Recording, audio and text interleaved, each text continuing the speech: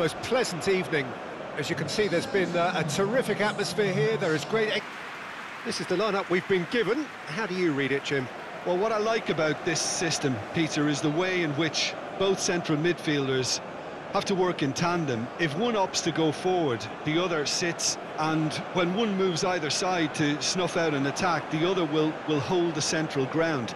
Communication is obviously vital to make it a success, but this team knows what it's doing. And that gets things running. Jim, who do you reckon is pivotal? Yeah, Edin Dzeko. He's a real handful up front, Peter, and not just because of his height and that physical presence. He's got excellent awareness and, and, technique, and that allows him to bring others into the game. He's a very powerful finisher too, so he'll be giving defenders a real dilemma about whether to close him down or not. I would advise the former. Mm, I think the opposition defence agree too. He's going to be the source of so many of their headaches.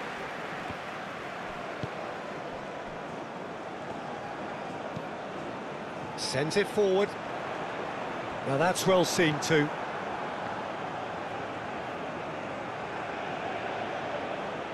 Well, that is one way to stop him. Under. Kadioglu. Now it's Under. In comes the cross. And that's been levered clear. A real chance to break. Stood up well to him there. Now it's Dzeko. Dzeko! A collective sigh of relief from the defence.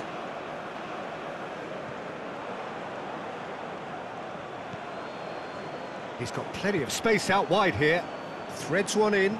Under. That'll be a throw-in.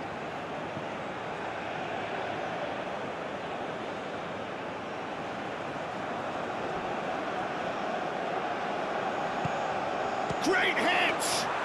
Goal! Fenerbahce! There is the breakthrough! The keeper deserves some sympathy there. He may not have seen that until too late.